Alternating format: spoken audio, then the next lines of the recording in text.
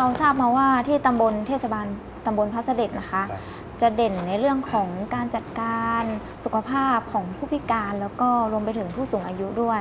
ทีนี้จนมาถึงอ่ารางวัลเนี้ยค่ะอยากให้ทะทั้งทั้งสองท่านนะคะ ช่วยเล่าถึงที่มาของรางวัลนี้นิดนึงค่ะอืมครับประเด็นขอขออนุญาตนะครับขออนุญาต ทุกท่านนะครับ คือรางวัลนะรางวัลนี้นะครับเป็นรางวัลการบริหารจัดการที่ดีนะครับ 2556 นะครับค่ะซึ่งนะครับอ่ารางวัลนี้นะครับเป็นในเรื่องของการจัดการเกี่ยวกับในเรื่องของผู้พิการนะครับอืมซึ่งอ่าจากปีงบประมาณ 2556 นะครับ เราได้มีการสำรวจนะครับผู้พิการที่อยู่ในเขตเทศบาลตำบลพระเสด็จนะครับ พบว่ามีจำนวนอ่า 147 คนคร่าวๆนะครับ แต่จากอ่าจำนวนผู้พิการในนี้นะครับ มีเพียงแค่ประมาณ 58 รายเท่านั้นที่เข้าถึงนะครับบริการหรือการได้รับบริการจัดการสาธารณะของอากองทุนหลักประกันสุขภาพของเทศบาลตำบลพระเสด็จนะครับค่ะเราจึงได้มีอ่าการจัดตั้งนะครับเกี่ยวกับอ่า ศูนย์เรียนรู้ผู้พิการรวมไปถึงการปรับปรุงนะครับสถานที่บริการที่เอื้ออำนวยต่อผู้พิการนะครับ รวมไปถึงเกี่ยวกับการจัดอบรมหลักสูตรต่างๆ ที่เป็นการส่งเสริมหรือเพิ่มทักษะให้กับผู้พิการจนทำนะครับจนทำให้ปริมาณหรือจำนวนผู้พิการ นะครับที่ยังไม่ได้รับการเข้าถึงนะครับตั้งแต่ที่ผมได้เกริ่นมาตั้งแต่เมื่อสักครู่นะครับจนอ่าปี 2559 เป็นปีปัจจุบันนี้นะครับเข้าถึงบริการและมีการมาลงทะเบียนนะครับรับเบี้ยผู้พิการคิดเป็นอัตราร้อยละ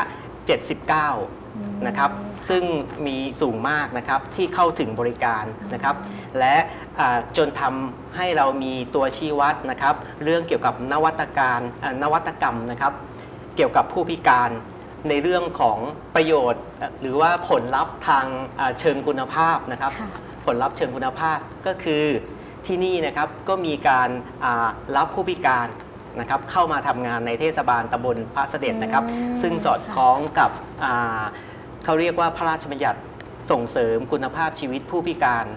นะครับ ตรงนี้ในอัตราที่ถ้าจำนวนอ่าพนักงานหรือข้าราชการนะครับ100 คนจะต้องมีผู้พิการที่จะต้องอารับเข้าทำงานในณหน่วยงานของรัฐนี่จำนวน 1 คนนะครับและรวมไปถึงอ่าทักษะของผู้พิการต่างๆ ที่เราอยู่ในความรับผิดชอบของเทศบาลตำบลพระเสด็จนะครับ ซึ่งท่านนายกเทศมนตรีตำบลพระเสด็จเนี่ยท่านก็จะมีวิสัยทัศน์ในเรื่องของการที่อ่า ส่งเสริมหรือเพิ่มทักษะให้กับผู้พิการให้เป็นผู้พิการที่มีคุณภาพ เราได้มีการจัดส่งผู้พิการ ซึ่งเป็นต้นแบบผู้พิการที่ดีนะครับ ส่งไปในระดับประเทศ จนได้รับเป็นผู้พิการต้นแบบในระดับประเทศปี 2557 ที่ผ่านมาครับสุดยอดเลยนะคะนะครับ และรวมไปถึงในเรื่องของอาคณะกรรมการกระจายอำนาจนะครับขององค์กรปกครองส่วนท้องถิ่นนะครับ ได้มีการเข้ามาตรวจประเมินของนวัตกรรม เราจึงได้มีการจัดส่ง ผลงานด้านผู้พิการจนเราได้รับรางวัลนะครับรางวัลชมเชยในระดับประเทศ ซึ่งได้รับงบประมาณเพื่อมาดำเนินการเกี่ยวกับค่ะอ่าจัดการบริการสาธารณะนะครับจำนวน2ล้าน4แสนบาทครับผมโอ้เรียกได้ว่ามีการจัดการในเรื่องของผู้พิการเนี่ยเข้าถึงอย่างแท้จริงนะคะ ที่เรียนถามนิดนึงเมื่อสักครู่นี้ท่านประหลัดได้เกริ่นว่ามีการรับ พนักงานที่เป็นผู้พิการเข้ามาทำงานด้วย อยากจะเรียนถามว่าอ่าผู้พิการที่เรารับเข้ามาทำงานเนี่ยทำงานในเรื่องของอะไรบ้างนะคะอ๋อคือ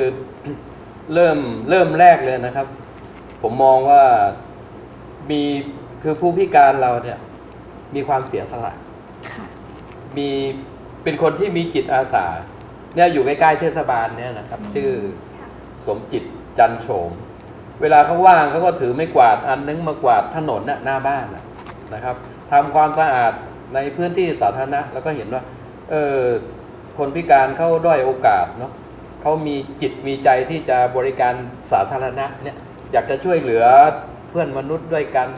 ต่างๆ นานาก็เลยคุยกับประหลัดอนันต์นะซึ่งเป็นเลขาบอกว่าเออเรารับคนพิการมาทำงานในหน่วยงานเราน่าจะดีนะครับ ก็เลย รับเข้ามาพูดถึงคุณสมจิตจันโฉมเนี่ย ก่อนหน้าที่จะมาทำงานที่เทศบาลเนี่ยเขาอยู่ในชมรมผู้พิการของจังหวัดอุตรดิตถ์อืมแล้วเขาเป็นนักกีฬา เป็นนักกีฬายกน้ำหนัก ยกน้ำหนัก ไปแข่งกีฬาในระดับประเทศเนี่ยอ๋อทางเทศบาลนี่ก็สนับสนุนงบประมาณ ช่วงนั้นก็ไม่มากนะตามอ่าอำนาจหน้าที่อะนะฮะก็บางทีก็ให้ สามพันมั่งห้าพันมั่งเขาก็ไปได้ถ้วยรางวัลไปได้เหรียญได้โล่รางวัลอะไรมันเต็มหมดเลยนะครับอาตอนหลังเราก็รับมาทำงานทำงานในหน่วยงานที่ศูนย์ ฟื้นฟูสุขภาพผู้พิการเรียกเขาเรียกศูนย์ CLC ที่อยู่ด้านล่างเนี่ยนะค่ะแล้วก็ยังมีผู้พิการที่เอ่ออันอันนี้พิการทางทางสรีระทางการเอ่อ ทางร่างกายอะนะฮะค่ะเอ่อแล้วมีผู้พิการที่พูดไม่ได้เลยอืมพูดไม่ได้เลย แล้วอยากเรียนหนังสือ ก็ทางเทศบาลก็ส่งไปเรียนที่เอ่อโรงเรียนเอ่อศูนย์การศึกษาพิเศษ จังหวัดอุตรดิตถ์ซึ่งอยู่ไม่ไกลจากเทศบาลตำบลพระเสด็จนะนะก็ให้พนักงานเนี่ยขับมอเตอร์ไซค์ไปส่ง ไปส่งไปเรียนหนังสือ ซึ่ง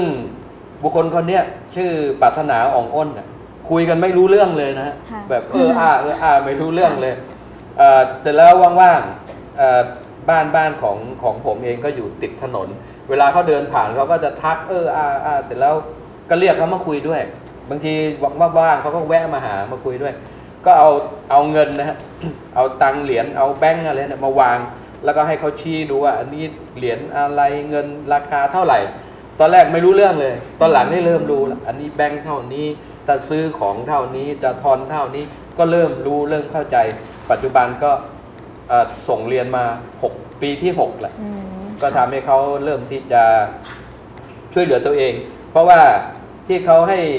ให้ให้เขามาเรียนรู้เกี่ยวกับเรื่องเงินเนี่ยนะฮะเพราะว่าเขาเขาได้รับเบี้ยยังชีพ ผู้พิการ เวลาเขาได้เงินไปเนี่ยเขาเอาไปใช้จ่ายไปซื้อของที่ตลาดเนี่ยเขาจะได้ เขาจะได้รู้ว่าใช้เป็นอ่าใช่ไหมคะจะเป็นว่าเงินเขาซื้อเขาเหลือเท่าไหร่อะไรเท่าไหร่เนี่ย